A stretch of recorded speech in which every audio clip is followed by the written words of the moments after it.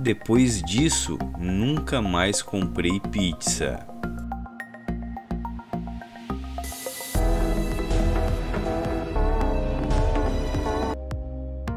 Em um recipiente, vou colocar uma xícara e meia de farinha de trigo. Vou adicionar também um ovo e agora um quarto de xícara de óleo. É basicamente a metade da metade de uma xícara.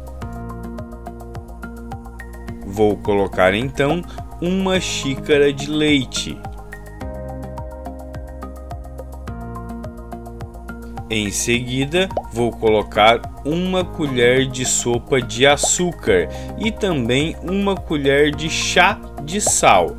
Agora vou bater tudo muito bem até essa mistura ficar bem homogênea.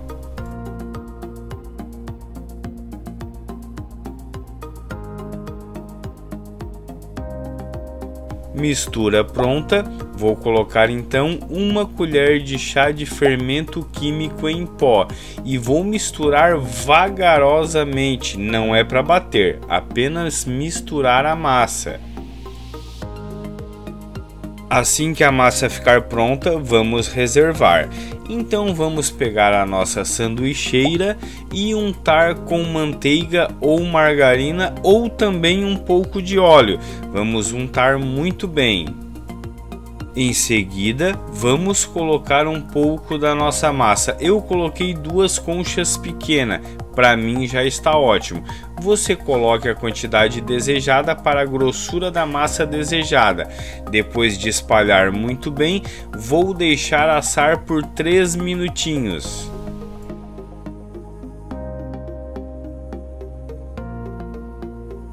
Passados 3 minutinhos, vamos rechear ou colocar a cobertura da nossa pizza. Aqui eu estou utilizando molho de tomate pronto. Agora vou colocar um pouco de mussarela ralada fina.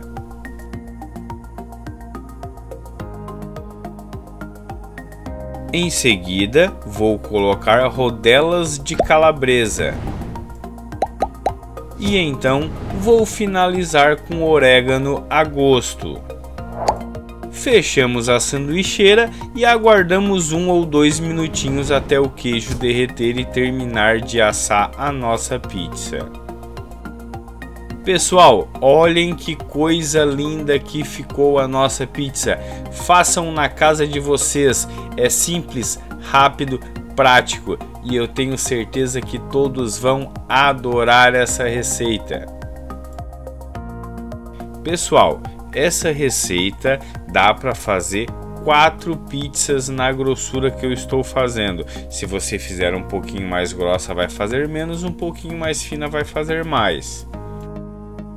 Pessoal, enquanto eu vou montando as outras pizzas, Aproveitem e compartilhem esse vídeo no grupo da família, no grupo do serviço, para todos que vocês sabem que adoram comer uma pizza e vão poder estar tá fazendo essa receita de uma forma simples, rápida e fácil. Pessoal, o recheio fica a seu gosto. Eu estou utilizando em todas as pizzas molho de tomate pronto e queijo mussarela ralado. E os demais ingredientes você pode usar a sua escolha: tomate, pimentão, cebola, orégano. Você pode estar usando bacon, você pode estar usando presunto apresuntado, você pode estar usando calabresa. Deixe a sua imaginação lhe surpreender. Muito obrigado para você que nos assistiu até aqui, para você que apoia o canal e gosta das nossas receitas. Fiquem com Deus e até a próxima. Um forte abraço. Valeu!